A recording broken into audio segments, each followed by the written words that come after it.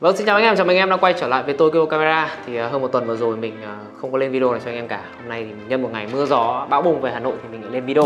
Và như anh em đã biết thì vừa rồi DJI đã cho ra mắt hai sản phẩm gimbal mới dành cho anh em chơi camera. Đó chính là Ronin RS2 và Ronin RSC2 Nghe tên thì khá là dài đúng không? Thì hôm nay mình sẽ cùng anh em là tìm hiểu xem là uh, hai chiếc sản phẩm này của DJI nó có gì đổi mới hơn so với những thiết bị cũ.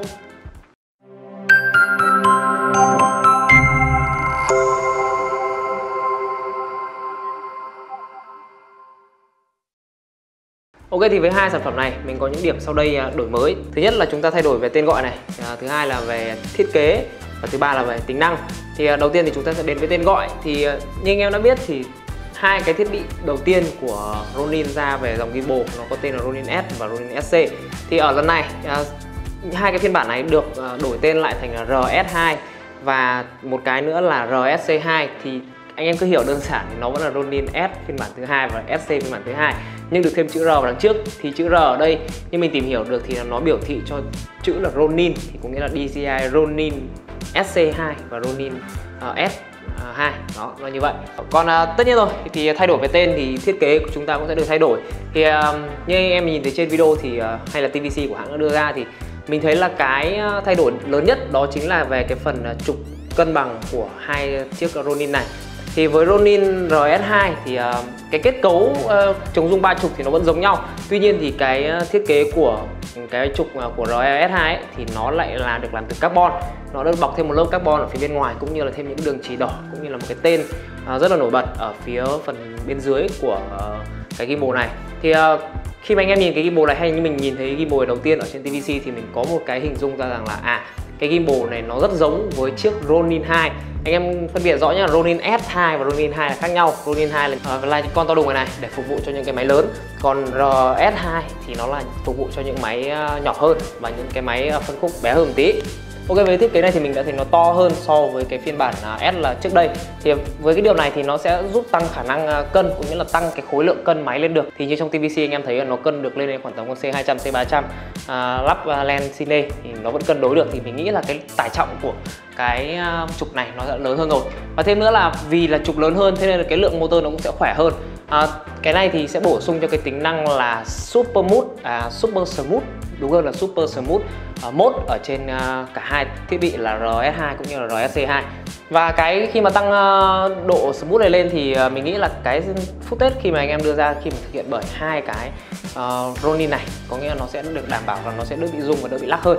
Khi trong quá trình sử dụng thì như trước đây mình đã dùng rất nhiều loại gimbal rồi thì cái hiện tượng rung và lắc thì nó vẫn xảy ra. Nhưng mình mong chờ rằng là trên cái gimbal mới này thì có cái super smooth này nó sẽ ổn định hơn và nó ok hơn. Ok tiếp theo thì chúng ta sẽ đến với những cái điểm thay đổi nho nhỏ hơn. Thì uh, cái điểm tiếp theo thay đổi nho nhỏ nhất là đến từ cái phần uh, focus của cái uh, hai cái Ronin này.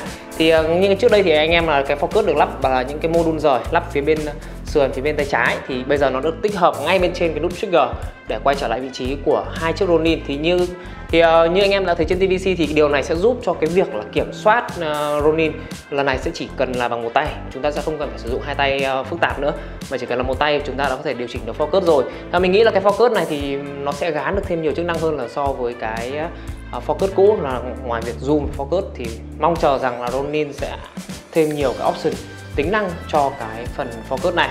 Điểm tiếp theo lớn nhất và thay đổi mạnh nhất để phân biệt giữa S, ờ, uh, RS2 và RSC thì đó chính là ở cái phần màn hình.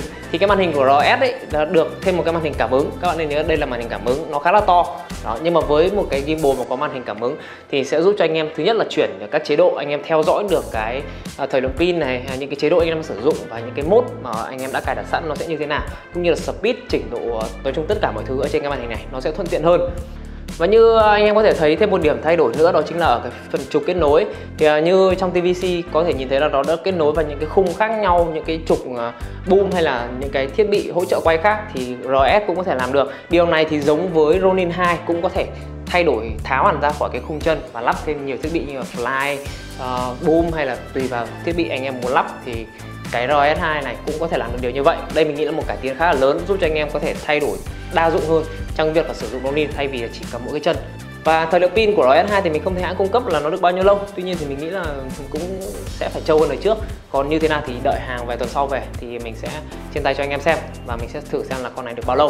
Ok thì chúng ta sẽ quay trở lại với nhân vật tiếp theo đó chính là RSC2 Đây chính là cái thứ mà mình ờ, thấy mình ấn tượng nhất, ờ, ấn tượng hơn cả với RS2 Đó chính là ở cái khả năng biến đổi cái ờ, tay cầm thành nhiều dạng khác nhau như anh em có thể thấy thì là nó có thể ờ, đang từ thẳng chúng ta có thể chuyển sang chế độ flatline Đấy, nó đưa hạt máy về phía trước và chúng ta sẽ hướng đồng máy xuống. Hay là nói chung đổi rất nhiều tư thế sử dụng với cái RSC2 này. Nếu như mình không biết là cái độ bền của cái trục này nó như thế nào tuy nhiên thì phải đợi hàng về thì mình biết là cái trục này nó có chắc chắn hay không. Ok thêm một điểm nữa là RSC2 thì mình thấy hãng thì nó nhẹ hơn. Cũng như là pin thì lên được đâu đó là 14 tiếng và có cả sạc nhanh em lưu ý là con này có cả sạc nhanh. Đấy, như vậy thì sẽ tiết kiệm được thời gian sạc pin cũng như là à, thêm một điểm nữa là RS C2 thì cũng có cái Super Smooth Mode. Đấy. hai con này thì đều có những tính năng gần như là tương tự nhau. Thì mình nghĩ là RSC2 năm nay sẽ là một con bán chạy hơn so với RS2 nó tùy thuộc vào nhu cầu sử dụng của anh em. Còn về những cái tính năng xung quanh như là chúng ta có Hyperon, uh, Hyperlap, Hyperon rồi Ron 360 nói chung là những cái tính năng khác thì thì RS và RSC2 thì sẽ đều được mang hết của những cái gì hai đời trước lên. Ngoài ra thì RS2 thì có cả thêm Active Track thì mình không biết là cái tính năng này nó hoạt động như thế nào. Tuy nhiên thì tất cả những cái tính năng phụ trợ thêm thì đợi khi nào có sản phẩm trên tay thì mình sẽ nói. Hôm nay mình sẽ chỉ chia sẻ cho anh em một chút là về những cái điểm thay đổi lớn của RS và RSC2 so với giờ thì hiện là S và SC đó, không biết là anh em có suy nghĩ gì và có ý kiến gì về hai chiếc ờ, uh, gimbal mới này của DJI thì hãy để lại bình luận phía dưới. Và link mua hàng thì Tokyo Camera cũng đã có rồi. Anh em hãy truy cập lên bên dưới mình sẽ để hết link có cả bản thường và bản combo. Anh em có thể tham khảo giá phía bên dưới. Giá thì năm nay mình thấy là nó cũng không cao hơn so với bản ong máy là bao nhiêu. Khi ở cái thời điểm ra mắt thì một con nó rơi vào tầm 14 triệu một con là rơi vào tầm 20 triệu ở bản combo. À, và combo thì có gì thì khi nào có hàng mình sẽ chỉ cho anh em xem là combo của nó có ngon hay không nhá còn bây giờ thì uh, video mình đến đây là kết thúc. Cảm ơn anh em đã theo dõi. À, đừng quên để lại cho mình một like như là một subscribe nhá. Xin chào tạm biệt và hẹn gặp lại.